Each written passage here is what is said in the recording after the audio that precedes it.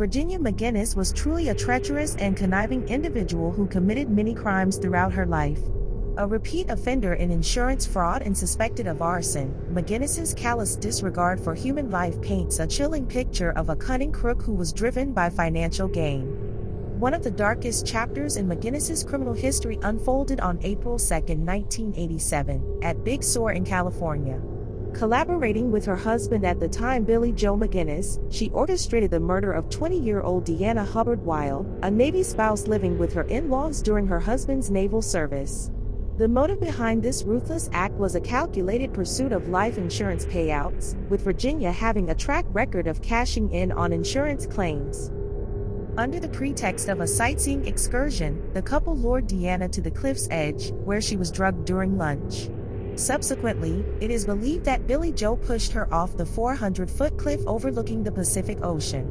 Virginia Reardon, seemingly devoid of empathy, captured the crime through the lens of her camera, leading investigators to surmise her sick desire for a trophy of the homicide.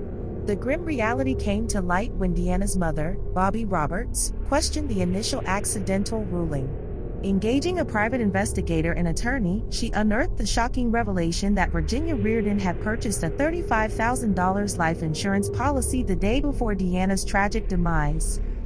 In 1989, the wheels of justice began to turn as Reardon and McGinnis were arrested for the murder of Deanna Wild. Although Billy Joe McGinnis faced a first degree murder charge in 1991, he succumbed to complications from pneumonia before his trial commenced.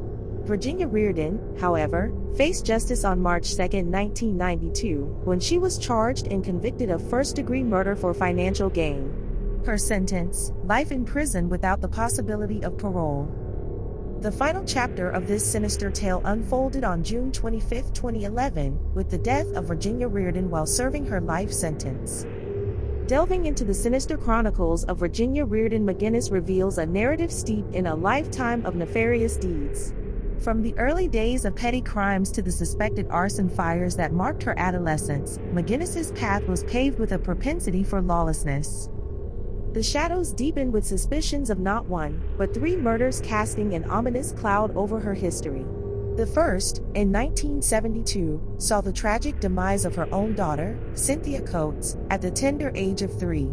Officially ruled as an accidental hanging, the scene was manipulated before any scrutiny could unfold, and the timely payout from Cynthia's life insurance followed suit. The web of McGinnis's sinister influence tightened around her second husband, Sylvester Bud Reardon, who succumbed to cancer in 1974.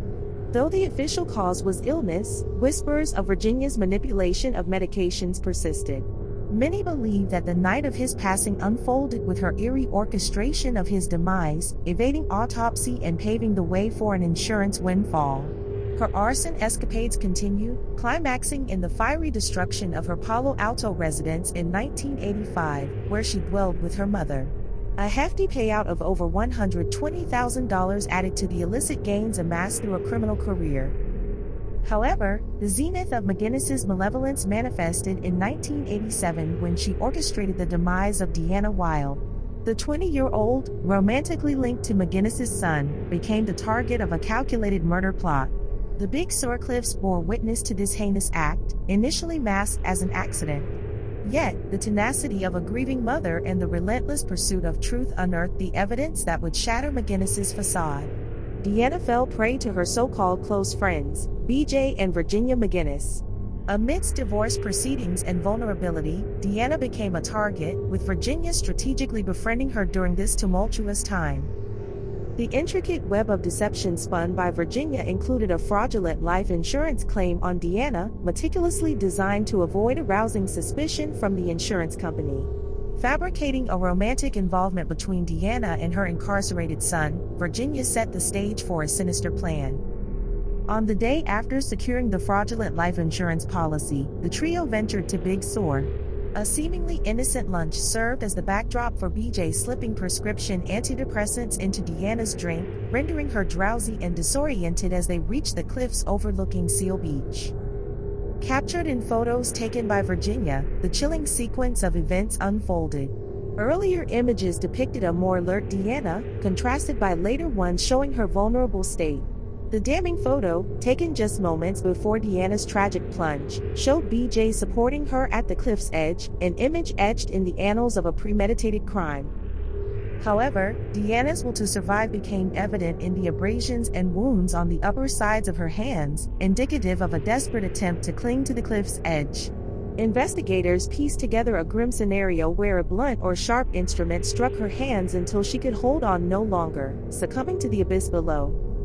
Initially ruled accidental, Deanna's death took a darker turn when BJ's prescription drugs surfaced in the vial of blood taken during her autopsy. Virginia Reardon McGinnis will go down in history as a cold blooded killer and master manipulator who was willing to betray anyone as long as she profited financially.